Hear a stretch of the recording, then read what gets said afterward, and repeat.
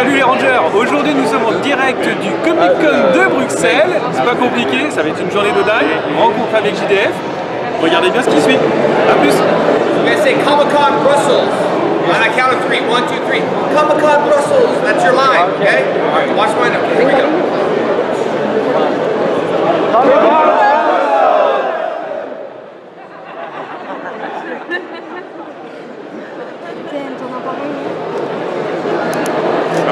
Niveau bas fond.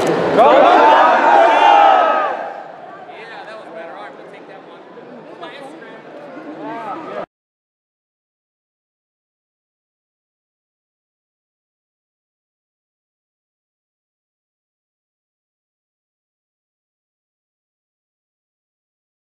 All the applause, Jason David Frank!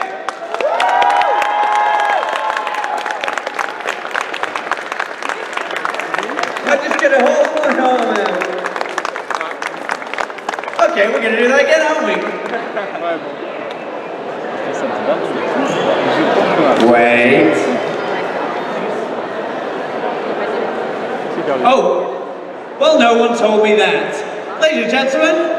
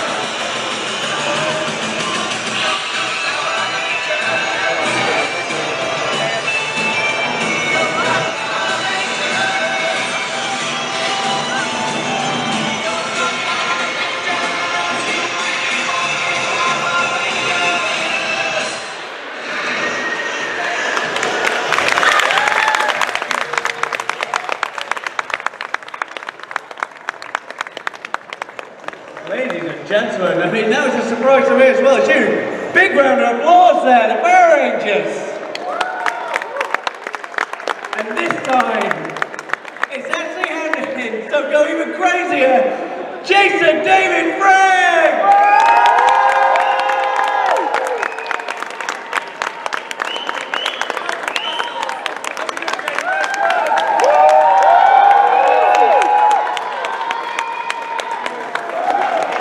Behind us, thank you, Power Rangers, for your awesome show. Are you guys ready? First, I take a selfie. Well, You guys come on this side. real quick. Come on, Power Rangers. Stand on that side. I gotta get, I gotta get way in the back. over Do you here. want me to take No, no, I do. I like the selfies. So you can just stay right in there. All right, here we go. Uh, Power Rangers, taking me. Yeah, there we go. All right, here we go. One, two, three. Yeah, thank you. Oh wow, I never turned around and seen the entire Power Rangers in front of me. That's incredible. Once again, give it up for our Power Rangers! I mean, I've seen some entourages, but that one is impressive. Uh, have a seat. Thank you. Welcome to Brussels. Thank you. It's good to be here. How, how, how are you finding Comic Con? I always have fun at Comic Cons. Uh, get a chance to look around. I, I didn't get a chance to see everything, but I'm sure uh, there's a lot of awesome stuff to see out there. First time in Brussels. Hopefully it's not the last, because I really love it here. I love the people. Thank you guys for so much love and the love for Power Rangers too. Oh yeah, they go they go crazy for it. I mean, look straight away. Got one little Power Ranger there. There we go. Hey. Oh yes, the second best color, I would say. Well, I, I mean- was red, I was red too. I was uh, red Oh. Zeo, red turbo. Uh, so I was many different colors. But you were green originally, weren't you? Green, white, red Zeo, red turbo, and then black Dino Thunder. Oh wow. Yep. How do you keep hold of all those? Uh, what, what was the order? Can you say them in order? Yeah, green, white, red Zeo, red turbo, black Dino Thunder, and then I did the superpower beatdowns, um, and then uh, the new character from the uh, Boom comic, Lord Drakkon, which is a mix between, uh, uh, yeah, good, the green and the white, and he's evil. I'm trying to go live, but uh, Oh, well, I, I could fill whilst you get that up if you need to. What I loved about that then is, not only do you obviously know which Power Rangers you were, one man just said, yep, yep, and so ticked them off as you went. It was brilliant. Are you a fan, sir? What a surprise, what a surprise. Oh, we, yeah. There you go. I mean, we, we will let you ask your question afterwards if you're a fan. Um, I mean, that kind of summarizes what I was going to say. I mean, the Power Rangers is huge, and it's been going and going and going for, what, 20 odd years? 20, 25 years, 25 years. It's crazy. You were there, obviously, from pretty much the start. Obviously, you came in green a bit later, which is Rita's invention, is it? Uh, yeah, only 10 or 15 uh, episodes into it. But you are Gen 1, essentially. Um, how's, how have you found it as it's grown and as it's obviously become bigger and budgets got bigger and stuff like that? Yeah, well, as you can see, you got the little kids now that are dressed as Power Rangers. Their, their mom and dad, you know, uh, used to watch Power Rangers, and then their mom used to have to watch, you know, Power Rangers. So it's uh, it's exciting. You know, it's a good thing. Did you, because I, I obviously you, Joe, martial arts. Um, was that your in, or were you, did you go in because an acting background? How did you get that well, specifically? I was a national rated competitor, so it was, uh, you know, going out there and doing martial arts. Then when I got uh, Power Rangers, it just was perfect. It was uh, mixed between karate and a little bit of acting and all that good stuff. So I'm trying to see, Francis, where are you? Can you go live on my Instagram, please? Thanks. I, I can't get any service here. Just go live on my Facebook. We're going live, guys. That's, uh, that's tech for Once, us. once you go live, let me know so I can have it, okay? Professionally, he knows what's going on. Oh, there's one man already going live for you. You're going to have about 16 channels in a second. Um, but yeah, I mean, um, in terms of obviously um, the history of Power Rangers, do you have any attachment to any one generation, or has it been different, and, and you have a different love for each one as you go? You know, we did the superpower beatdown on Bat the Sun, and uh, those fights were pretty epic. We did the Green Ranger versus Ryu, White Ranger versus Scorpion, uh, and then now in the Boom comics we have Lord Drakkon. So I'm really, uh, I'm into certain characters. You know, I really like uh, a variety of Power Rangers. My first, of course, was Mighty Morphin Power Rangers. Um, there's over a hundred and something Power Rangers though. So I'm gonna, we're going live right now. Are we live right now? All right, let me see that, Francis, real quick. Thanks for going live. Are we on uh, Facebook or Facebook? All right, we're on Facebook Live. Say what's up, everybody. There we go. Facebook Live. Facebook Live. All right. Well, uh, I like to keep everyone updated. So if you're not here right now, we are in Brussels, uh, Belgium, where the chocolate. I know you're going to say chocolate and beer, but I don't drink, so I'm going to say chocolate and the waffles and the French fries. Oh yeah. Okay. Anyway, welcome guys, and uh, we're going to keep this on for a little bit. Do you guys have some questions? Oh yeah, do you want me to get straight into the questions for you now? No, no, Because you I- don't have to. You can you can ask certain things. I, oh, I'll, I'll happily have a chat with you. I just know these guys. I mean, I, I don't think I've ever ever seen so many different types of Power Rangers come to a Q and A yet. So this is exciting for me.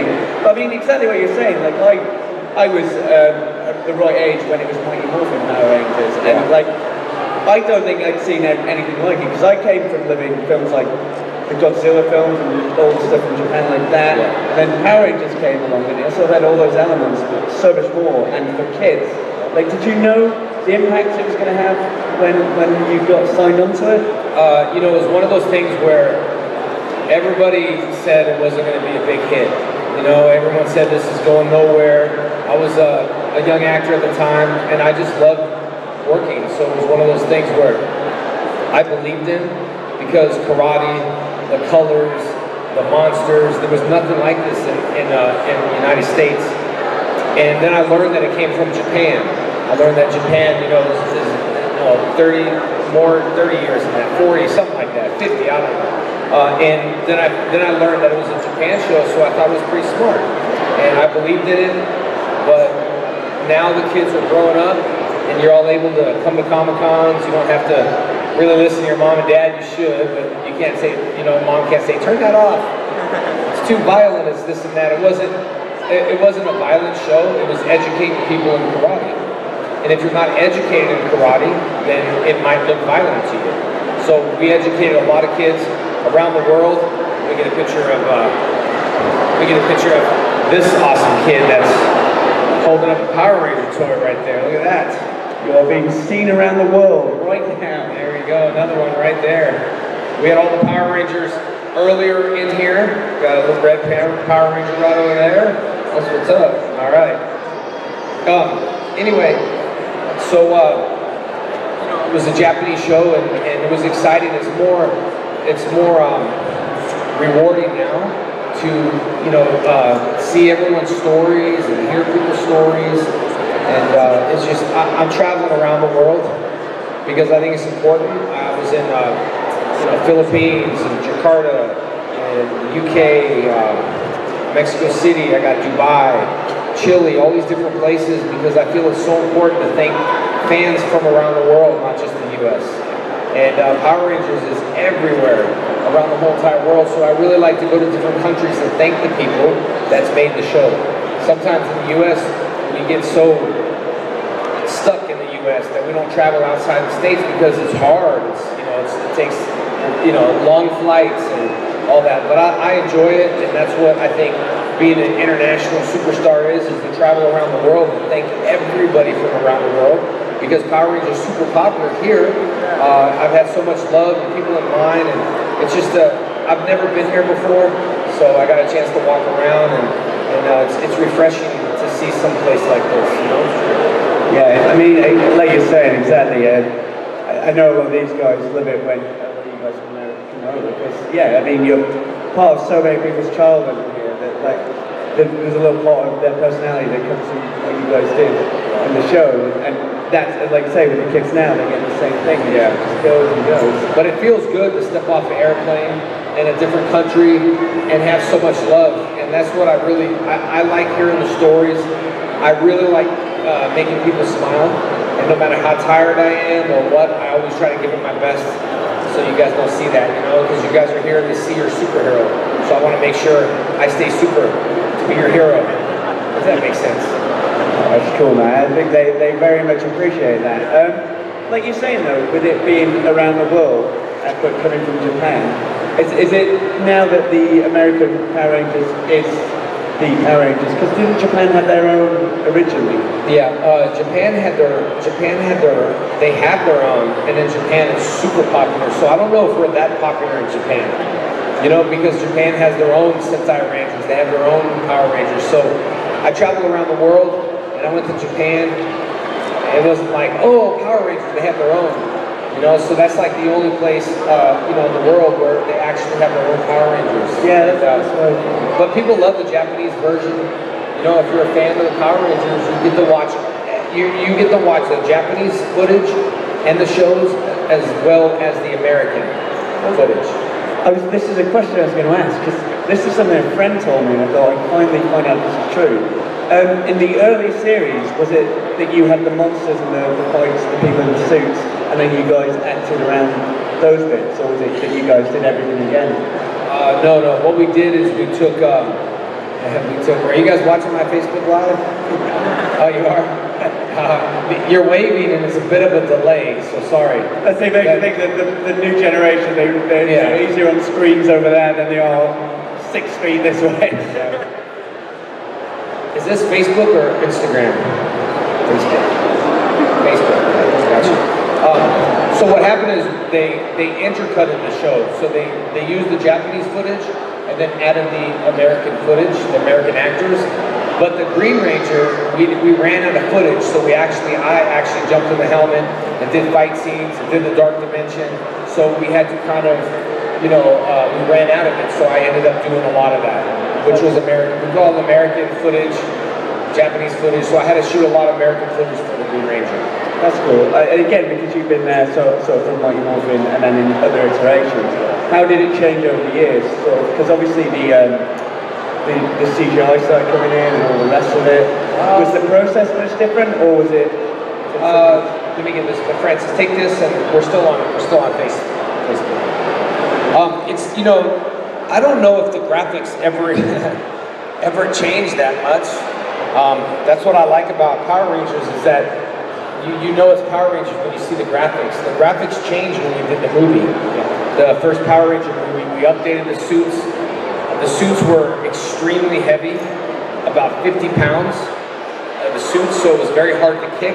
Back then, we didn't have the cool cosplayers that make really awesome suits. Uh, Anarchy makes some really nice suits, uh, all Power Ranger suits. So he's uh, he's pretty pretty accurate on that. So it was the, the super heavy uh, suits, the graphics changed, but I think overall, through the whole 25 years the series has been on, the monsters are kind of looking the same. I think you know some of the fights and things like that. The first seasons we used to fight a lot, uh, the out of suit, and then eventually they don't do that much anymore just because of the process of filming, it takes a long time. So uh, they don't really do the fights, they just fight in suit. Oh, really? Yeah, uh, yeah very interesting. Um, in, in that, obviously, because you all had martial arts backgrounds, was that a case of then you guys sort of had to figure out with each other, or did you have choreographers from the start, or? Oh, I was always there. I got a chance to do my own stuff. I was the first one to show up on set. If you wonder why Tommy fought a lot, I was the first one on set. I was the one that said, I'll do it. I'll stay late. Let me kick. Let me do this move. I'll do a wire gag. I'll front flip and hit the concrete, no problem. So I was the first one to always do that. And the director loved it because when you can do all that stuff, it's easier to shoot. Um, so I had a lot of fun, but I was the first one to kind of show up and, and train. I trained when I was four in martial arts. I trained my whole entire life. So when I got the show, I was a third degree black belt at the time. Now I'm 44 and I just received my eighth degree black belt, which was a, yeah, which is pretty, pretty, uh, Pretty big accomplishment. Took a very long time. 40 years in the martial arts, you know? Um, and, but it's also, that rank is also judged on you know, sharing your knowledge, like Chuck Norris, for example. He's got schools, he shares his knowledge, and that's what makes you, that's what you become a great master by sharing knowledge to other people. You get to see your students grow and become an awesome black belt, and that's the reason why I respect uh, Chuck Norris so, so much, um, is because he had schools, and he's legitimate. He, he's a 10th, and then he's the 8th degree like me, so I'm so excited. I'm doing a show with him uh, coming up in Lexington uh, I've met him three other times. Actually, I skydive. Um, so I was skydiving when Chuck Norris did his tandem. And then I thought of the joke, like, Chuck Norris is so cool, he doesn't need a parachute. But he actually did need a parachute. So I'm excited to see him. Oh man, I, I think everyone in here thought I would have loved to see that skydive. That would have been incredible. Interesting, obviously, because you obviously love martial arts and, and that was part of what got you into the role. But you said you started when you were four. What was it that sort of influenced you to start? Because obviously a lot of kids now will start because of things like Power Rangers. But That's what it was. It's you know, no matter no matter I think who you are, karate's mainstream. You'll always stop and you look and you watch. And you go, wow, that's cool. So as a kid, I was walking by a karate studio and I saw this older lady, which she's a lot younger than I am now, but I was only four, so I thought she was an old lady. She was probably 20. Anyway, um, doing a kata, doing a routine, and I thought that's something that I'd like to get involved in. As a kid, you know, I, I suffered a lot with certain things, ADD, and, and it was I was really off a little bit. So martial arts centered me. You know, so I, I studied in school. I was able to stay in karate class and learn. I've taught so many people with disabilities that became black belts. I've, I've taught people with autism. I've taught people that, that couldn't function in the world that there are great black belts. Because what karate does is it centers your mind and it makes you focus. People were blown away. So when I was to karate, I was thinking, man, this is great for my ADD like train, train, train. And then when I started training other people, that people said, no, we can't train them, we can't train them. A kid came in a wheelchair, my brother, my brother played my brother on the show, David Trueheart, but he passed away a while ago. But when the kid came in in a, in a wheelchair, he said, can you teach me? And I was like, no, my brother I can teach him. So he picked him out of his chair, put him against the wall, and start teaching him the block. And the kid was blocking it. I was thinking, man, I think the kid's gonna be mad because my brother like picked him up and pinned him against the wall and was teaching him blocks. The kid loved it. I taught a kid Joey in a wheelchair and couldn't walk, couldn't do anything, couldn't do anything, and I taught him karate by closing his eyes because it's a mental thing. And when you can see that and walk away, it's a it's a pattern patterns you learn, songs, things you can hear. No matter what, someone can make beats in their head if you're talented, and then even if you couldn't do, move, you can translate that to a guy who can really like make this awesome song. So the mind doesn't stop. So once I saw that, I knew karate. I was I was hooked on it because it gives kids goals. Yellow belt, orange belt, blue belt. I didn't have a lot of belts back then. It took me like four years to get the orange belt. All right. So, but but it gives you get tips on your belt, and you start learning to set goals. How many of us set a goal and when we get it, we stop? Not me. My mom used to say, you're never going to be satisfied because, and I said, I'm not. Because as soon as I reach a goal, you look and you see your next goal. That's how you grow. You know, if you look in school and you're like, my goal is to get a high school diploma, and you stop, you're not going further. Then it's college, and then it's this, and it's that. So we have to learn to have goals, and we have to learn to be disciplined. Really, it's the truth. The secret to success is to always say, I can. You know, there's plenty of times, I'm going through a lot of stuff right now back home. Um, you know, some, one of my daughter has an injury, and it's so easy for me to disconnect and say I can't come to the show. I'm my own boss, so I'm balancing two. You know what I mean? And uh, to be your own boss and to be disciplined is really hard. That's why you don't need a personal trainer. You don't get a personal trainer. If you get one, maybe you can learn the weights, but eventually stop your personal trainer because it's you that needs to wake up. Your personal trainer can push you and push you and push you. Your personal trainer is not going to be around forever. That's what my that's what my karate teacher said. I teach you how to defend yourself. I said, why? I have you. I'll take you to school. Said, you can't take me to school. How come? So I had to learn to defend myself alone. And you start when you're a baby, you learn to swim and then they let go of you and you're, oh, and you learn to swim. So I'm a big believer in reaching a goal and achieving a goal and being the best that you can. That's what holds me accountable to be a superhero. You know? Because then, again, yeah, a, yeah, yeah, go for it. You, you have an instinct for applause, you let it loose.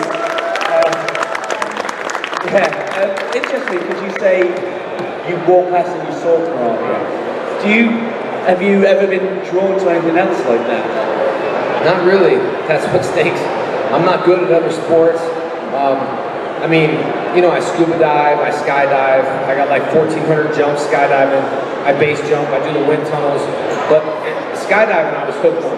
Because, you know, in the Power Ranger movie, the White Ranger jumps out of the airplane and the surfboard, and then I got hooked on, I was thinking, I, I want to skydive. So after that, I got my skydiving license. And it's going to sound very strange, but skydiving for me is kind of relaxing. Uh, in the beginning, it's very stressful, and sometimes still get stressed, but it's relaxing. Everybody's got to find their own. Some people play, play golf. Skydive, it clears my mind. And I think one of the reasons is you don't think of nothing. You don't have a phone, you don't have Instagram, you don't have Facebook. You're skydiving, and you need to live. So you're thinking about, hope my parachute opens. Yes, perfect. So it's like a, it clears my mind out a little bit. But I've never been drawn into other sports, basketball. I, I did, I did leave one time for baseball, and my instructor said this to me. Oh, you're gonna go leave for baseball? You're gonna quit karate? And I was like, I'll be back. And he said, Jason, I got, I got, I got, I want you to think about this really good. And I said, okay. He says, would you rather throw a ball or throw people? I'm gonna throw people. Thank you very much. I quit baseball. Good job you didn't combine the two and have some sort of weird uh, throwing people at bats. Although I'd watch that Yeah, sport. yeah. I'd watch that sport. Um, we will open the floor up very shortly, so if you do have any questions, get them in your mind and I will come to you in a second. We'll just chat a bit longer. Just because, again, like, this is, this is great because, um, like we were saying before, with kids being drawn to that sort of uh, martial arts and things like that, is that something you've worked with as well? Outside of Power Rangers? Do you run studios? Do you just? Oh yeah, I have. Uh, I run really good schools called Rising Sun Karate, and we have one in New Jersey, which my Shihan runs. That's his school, uh, affiliated with. one in California, right where we filmed Power Rangers. So if you ever go to California, you need to visit my school in Valencia. And Valencia is where we shot everything. You'll drive around and go, Power Rangers, Power Rangers, Power Rangers. We shot everything in Valencia. And then I have two schools in Texas, uh, Atascocita and then one in Pearland. And uh, I have thousands of students around the world. I started an online program called trainmejdf.com. And the reason why I started that program is so many people want to train with me, but I can't open schools everywhere. And this is an online program. Remember I told you you need discipline. No one's going to be there to say, wake up and train. I have people turning it on, and they will do the class. Uh, I had a kid I used to teach Skype. I used to try. I said, I'm to teach this kid. He really wanted to learn and I taught him. He, he didn't look too excited, but I but I taught him four lessons, and it worked. And um, but then he had depression, and he ended up taking his life, and I didn't know that. And his mom said, "Hey, he loved karate class." I was like, I didn't think he did because he didn't show no emotions. He was just. So I was thinking, I don't know if this kid likes the class. The mom said it meant everything to this kid. She said he would run down early to stay there 30 minutes before his class started. And I wish I knew then because I wasn't just teaching karate. I could have taught a lot of motivational things to him, which I did, but I, my approach to karate would have been more of a mental approach for him. So I decided that meant so much for him to take an online class. Why not just start an online class for everyone? And you know what? Even if they train a little, they can still feel part of the club. You know, and that's the idea with the, with uh, karate schools or anything. They feel part of the club. That's the reason why you have all these games. Different games is they want to be part of the club. They want to feel like they fit in. So they join the wrong side of town. And now they're in games doing what everyone else is doing. So if you want to feel part of the club, Comic Cons, you're part of the club, karate, you know, we need to find acceptance in our life where we're, we're accepted. The people that don't think we're accepted, it's not, it's not true. We're accepted everywhere. If you're hanging with those people that don't accept you, then don't be around those people. You don't need to be around them, you know? It's great. I mean, is anyone else right now just feel like running out and go, I can do anything? This is great. Um, before, again, last thing before we jump into the audience, um, like we say, you've been there since Generation 1, and obviously you've seen all the inclinations of official Power Rangers. What do you think about the rise in all the fan fiction and all the fan videos and stuff that come through? Do you, do you get involved in any of that or watch any of that? Well, um, you know, I try to stay Saban approved. Saban tries to look at me as an ambassador for Saban, an ambassador for the brand. Because my Instagram is always PG-13. I don't, you know, I don't do anything inappropriate. If I do, I'm not posting it. I always try to do approve things. Bat and Sun was approved. I'm working on a few other projects that's Saban approved that the fans are going to be like, oh, I can't tell you what. You're going to be shocked. Um, so everything that I do is, is fan approved. There was a fan film that got a lot of hits. You know, uh, they, they asked, yeah, they asked me uh, if I wanted to do the, movie, and he said, you know, blood and drugs, and I was like, ah, can't do that because the, these little kids are still watching Power Rangers on TV. They Google Power Rangers and that fan film shows up. I'm sure the guys in the fan film probably hate me, and I'm sorry, so it's not nothing against what you all did. The graphics were great, but you don't need to add blood, drugs, getting shot in the head. Those are things that the brand don't need to see right now. And uh, you know, so all the fan films out there are pretty clean. I think everyone, like these Power Ranger guys in the back, raise your hand. They, you know, uh, they're from Germany, yes, and they're representing Germany. And then you have the Belgium Power Rangers who are representing Power Rangers. You see, we're representing clean stuff. Kids will go up to them and want to take a picture, you know. And uh, that's the good thing is I love clean fan stuff because it keeps the Power Ranger brand alive. And if there's anything I can ever do involved in the Power Ranger brand, I will. And I'm always consistent to the brand, so I'm sure you have this is not the last time you're going to see Tommy, you know what I mean? yeah, exactly, exactly. And again, yeah, if you've got an applause, let it go. Um, lovely. Right, I am going to come to the audience now, so if you have a question, just raise your hand. I will try and get to you. Um, so, first one's always always the pressure. Brilliant. Um, going to come to this man first, so he can actually get in there and get down to you, just because he's here. Yes, sir. What's your question?